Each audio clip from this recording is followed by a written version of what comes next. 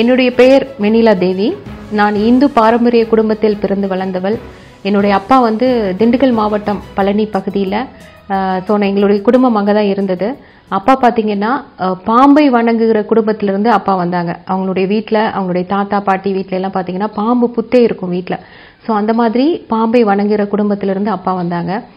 மோகன்தாஸ் காந்தி. அவர் வந்து பழனி பகுதியில் டிஎஸ்பியாக பணியாற்றி வந்தார். அம்மா வந்து ராஜம்மாள். அவங்களும் வந்து ஃபேமிலி பார்த்தீங்கன்னா சாமியார் குடும்பம் பூசாரி குடும்பத்துலேருந்து வந்தாங்க. நாங்கள் பிறந்ததுக்கு அப்புறம் எங்கள் வீட்டில் வந்து மொத்தம் பார்த்தீங்கன்னா ஏழு பேர்.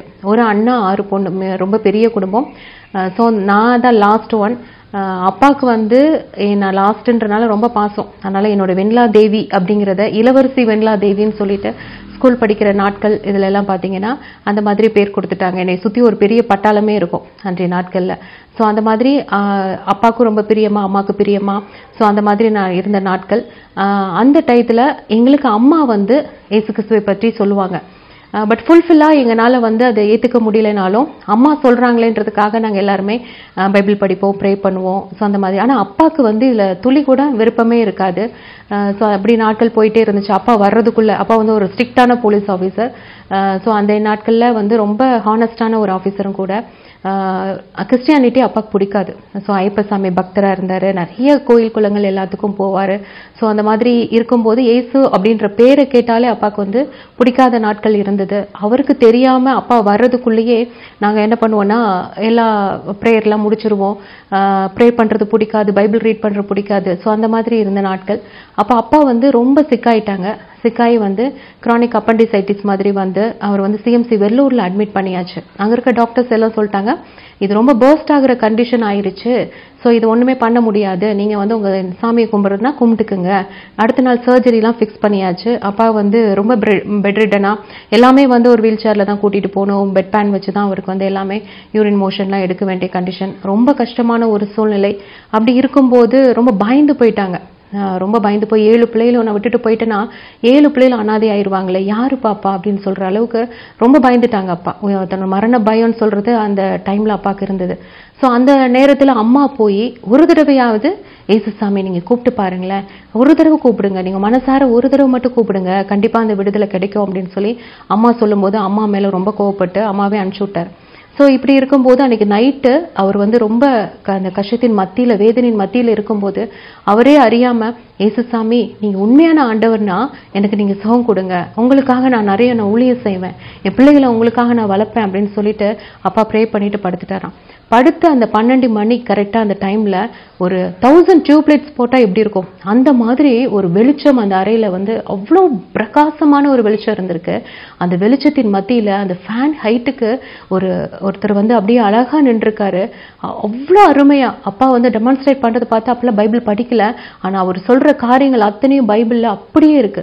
அந்த முடியெல்லாம் வந்து அப்படியே உறைந்த பஞ்சு போல அந்த கண்கள் இந்த மாதிரி ஒருத்தர் வந்து பாசமா அந்த உலகத்துல பார்ப்பாங்களா அப்படி அக்கறையா பார்ப்பாங்களான்றது கண்டிப்பா கிடையாது. அந்த மாதிரி ஒரு பாசமான அந்த கண்கள் வந்து என்னை பார்த்துச்சுமா? பக்கத்துல ரெண்டு ஏஞ்சல்ஸ் நின்னுட்டு இருந்தாங்க. ஸோ அந்த இயேசுவானவரை நான் பார்த்தேன். அவர் சொன்னாராம் நான் உன்னை தேர்ந்தெடுத்திருக்கேன். நீ என்னுடைய பிள்ளை. நீ எனக்காக நீ ஊழியம் பண்ணணும். உன் பிள்ளைங்களை ஏழு கரத்தில் கரத்துல இருக்க ஏழு நட்சத்திரங்களை இப்போ உனக்கு பிள்ளைங்களா கொடுத்துருக்கேன்னு சொல்லிட்டு அப்பா அந்த பாதிக்கப்பட்ட அந்த பகுதியை தடவி கொடுத்துட்டு அப்படியே மறைஞ்சிட்டாராம். அந்த அந்த வெளிச்சம் போகிறதுக்கே ஒரு காமன் நேரம் ஆயிருக்கு. அப்பா வந்து ரொம்ப இயேசுவே இயேசுவேன்னு கத்திட்டு வெளியே ஓடி வர்றார். கூட ஹெல்ப்புக்கு போலீஸ்காரங்க தான் இருக்காங்க. அவங்களும் போயிட்டு ஐயோ சாருக்கு ஏதோ ஆயிடுச்சுன்னு சொல்லிட்டு அவருக்கு அப்பாவை போய் கூட்டிகிட்டு வந்து எல்லாம் அதுக்கப்புறம் செக் பண்ணி பார்த்தா அங்கே இருக்கிற டாக்டர்ஸ் எல்லாரும் ஆச்சரியப்படுற விதத்தில் கம்ப்ளீட்லி நார்மல் ரொம்ப ஃபுல்லாக கியூர் ஆகிட்டாராம் அடுத்த நாள் வந்து அப்பா ஜீப்பில் வர்றாரு. ரெண்டு நாள் கழிச்சு டிஸ்சார்ஜ் பண்ணிட்டாங்க. நாங்கள் ஓடி போய் நாங்களும் ரொம்ப குட்டி. நான் ஓடி போய் அப்பாவை நாங்கள் கட்டி பிடிச்சிட்டு அழுகுறோம். அப்பா அப்படி தேம்பி தேம்பி அழுகுறாங்க. நான் அந்த தேவனை உண்மையான தேவனை நான் பார்த்தேன். என் கண்ணால் பார்த்தேன். அவர் தான் எனக்கு சுகம் கொடுத்தாரு. அவர் தான் எனக்கு வந்து எனக்கு வந்து காப்பாற்றினார் எனக்கு உயிரை கொடுத்தது அவர் தான் சொல்லி அப்பா சொல்லி அழுகும்போது அந்த நிகழ்ச்சியெல்லாம் ஒவ்வொன்றா அப்பா சொல்லும்போது அந்த சின்ன வயசில் எனக்கு ஏசப்பா மேலே அப்படி ஒரு ஒரு பாசம் என்ன அறியாமையே. அவர் மேலே அவ்வளோ ஒரு அன்பு எனக்குள்ளே வர ஆரம்பிச்சிச்சு. உண்மையாகவே ஐசமா ஏசாமி தான் உண்மையான ஆண்டவரா அப்படின்ற அளவுக்கு அப்படி ஒரு ஆண்டவர் மேலே எனக்கு ஒரு பாசம் அதிகமாக ஆக ஆரம்பிச்சிச்சு. அப்போ அப்பா சொ- சொன்ன வார்த்தை எனக்கு இன்னும் மறக்கலை. எல்லாரும் நிறைய மனுஷங்க இந்த உலகத்துல கடவுளை தேடி எங்கெங்கேயோ போறாங்க என்னென்னமோ பண்றாங்க என்னை மாதிரி. ஆனா அந்த இயேசுசாமி மட்டும்தாம்மா நம்மளை தேடி வந்து சுகம் கொடுக்குற தெய்வம்னு சொல்லி சொன்னார். அந்த வார்த்தை எனக்கு மறக்கவே இல்லை.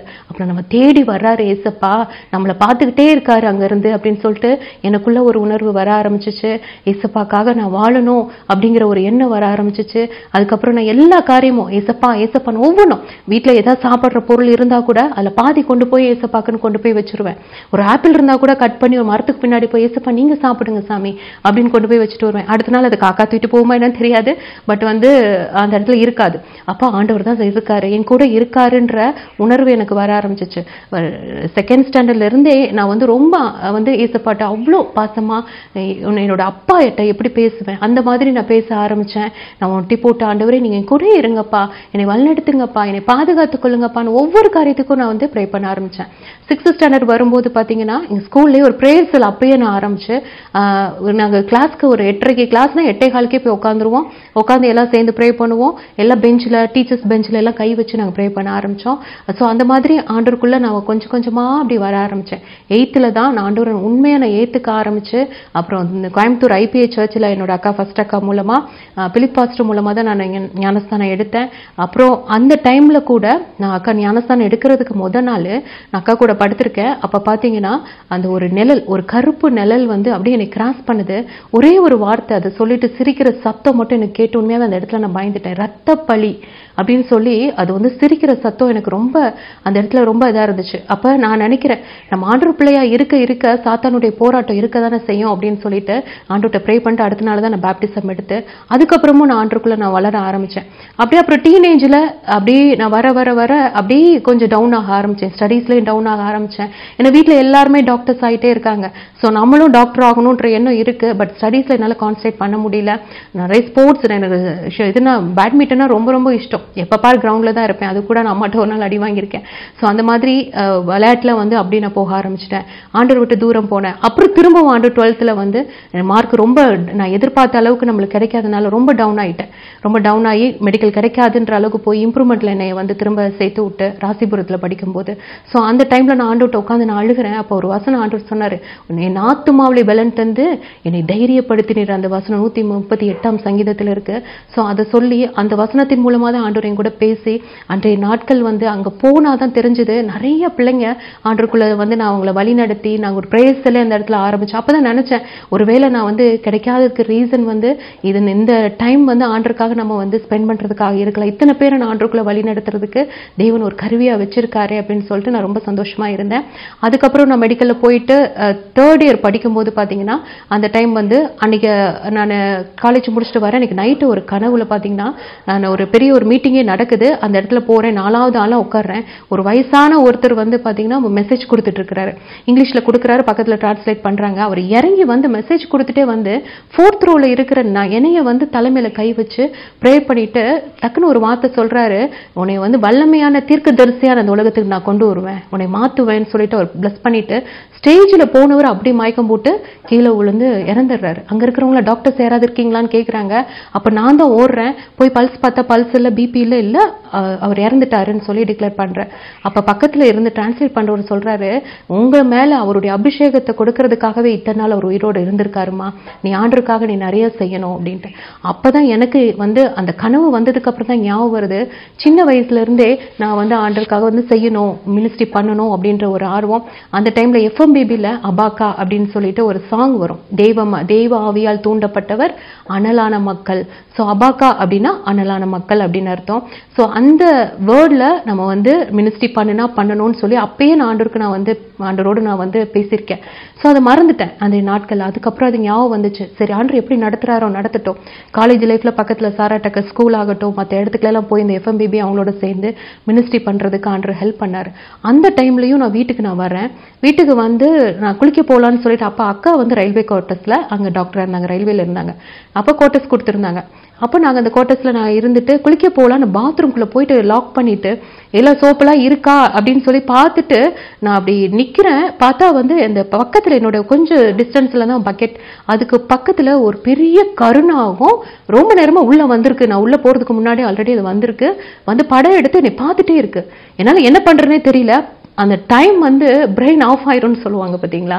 ஸோ என்ன பண்ணுறதுனே தெரியாது அப்படின்னு. அந்த மாதிரி டைம் ஸோ நான் பாம்பு கிட்ட போகிறேன் கதவு கிட்ட வரேன். பாம்பு கிட்ட போகிறேன் கதவு கிட்ட போகிறேன் கதவு திறக்கணுன்ற ஒரு கான்சியஸே இல்லாமல் போயிடுச்சு அப்புறம் கஷ்டப்பட்டு கதவை திறந்து வெளியே வந்து அந்த நேரத்தில் அப்புறம் எல்லாரும் அடிக்கிறதுக்கு அப்பா அம்மா எல்லாம் வந்து பார்க்குறாங்க. அது உள்ள நுழைஞ்சு திரும்ப அந்த ஹோல் வழியாகவே வெளியே போகும்போது பார்த்தா தான் அவ்வளோ பெரிய பாம்பு.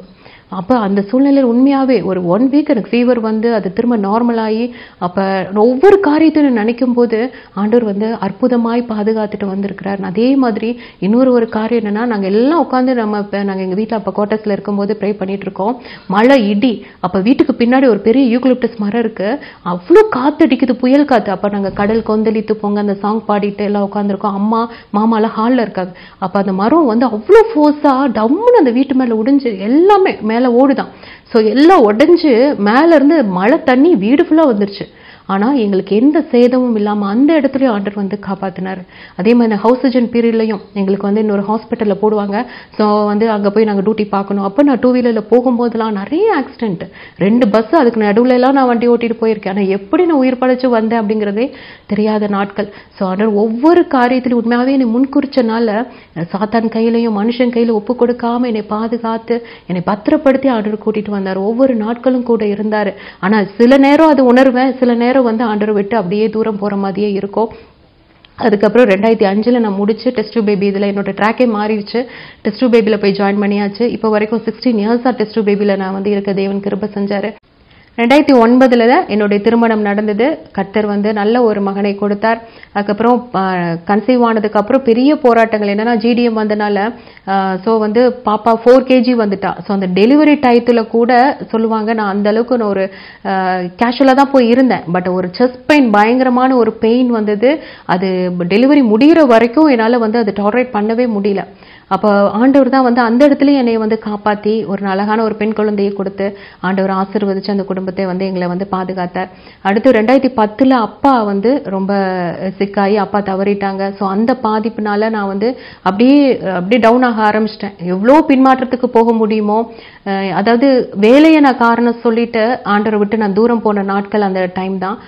ஸோ ரொம்ப பிஸி லைஃபு அது மாதிரி வந்து என்னென்ன நம்ம வந்து ஆண்டருக்கு பிரியமில்லாத காரியம் இருக்கோ அத்தனையும் நான் பண்ண ஆரம்பித்தேன் என்ன அறியாமே பண்ண ஆரம்பித்தேன் சர்ச்சில் வந்து எதுலேயுமே கான்சன்ட்ரேட் பண்ண முடியல.